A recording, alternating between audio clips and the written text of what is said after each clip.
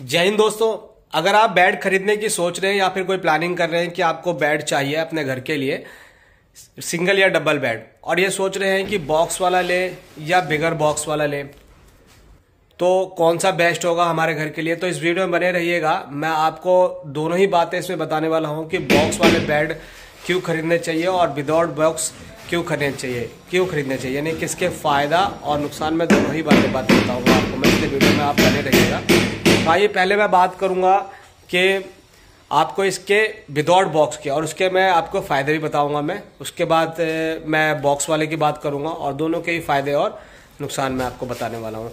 तो पहले हम विदाउट बॉक्स करेंगे इसके फ़ायदे की बात। तो ये बेड क्या होता है कि अधिकतर सिक्स बाई थ्री या फिर सिक्स बाई सिक्स या फिर आपका मिलेगा आप सिक्स बाई ढाई का। ये तीन चार साइजों में तैयार होते हैं, और ये हमेशा पीजी के लिए ज़्यादातर बनते हैं।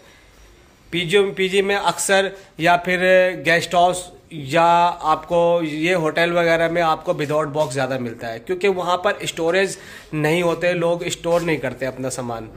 और वो हल्का भी होता है विदाउट बॉक्स वाला बेड यानी कि आप उसको कहीं भी ला ले जा सकते हो आराम से अगर आप किसी फ्लोर पर रह रहे हो तो उसको वहाँ पर चढ़ा भी सकते हो आप अच्छे से।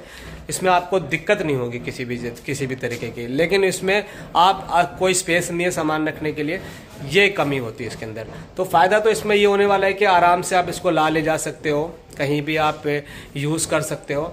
लेकिन इसका जो नुकसान होने वाला है वो ये है कि इसमें आप स्पेस नहीं है, सामान जो नहीं रखोगे तो जिसके वजह से जो आपके घर में दस बाय दस का रूम है, वो स्पेस जो है आप यूज़ नहीं कर पाएँगे। अक्सर क्या होता है कि लोग जो है, अपने घर में बेड इसलिए लेते हैं ज़्यादातर, नब्बे परसेंट लोग इसलिए खरीदते हैं क्योंकि वो एक आलमारी की तरह अपने बेड का इस्तेमाल करते हैं। जी हाँ बेड कम वाले बेड का मैं फ़ायदा और नुकसान इसके भी मैं आपको बता दूँ कि ये क्यों खरीदना चाहिए।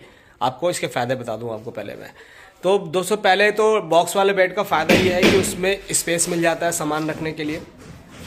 और आज जैसे मेट्रो शहर में क्या होता है कि दिल्ली, मुंबई, कोलकाता में यहाँ पर लोगों के पास रहने की थोड़ी गुंजाइश कम हो जाती है स्पेस कम हो जाता है। तो वहाँ पर आलमारी के साथ साथ लोग अपने बेड में भी स्टोरेज सामान कर लेते हैं यानी कि सामान रख लेते हैं जैसे ए, कपड़े हो गए बच्चों के अपने भी कपड़े हो गए साथ में रज़ाई गद्दे इस तरीके के स्टोर कर सकते हैं बेड के अंदर। तो बॉक्स वाले बेड का ये फ़ायदा है। रख दो।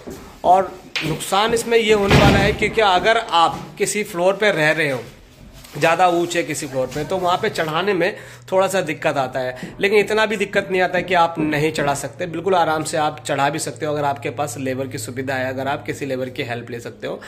दो चार पाँच सौ रुपये लेते हैं बाहर से आप लेबर को बुलाकर आप उसको ऊपर चढ़वा सकते हैं। तो मैंने आपको बता दिया आपको कि सिंगल बेड और डबल बेड में अब आपको क्लियर हो गया होगा कि आपको क्या खरीदना चाहिए, क्या आपके लिए ज़्यादा बेस्ट होगा।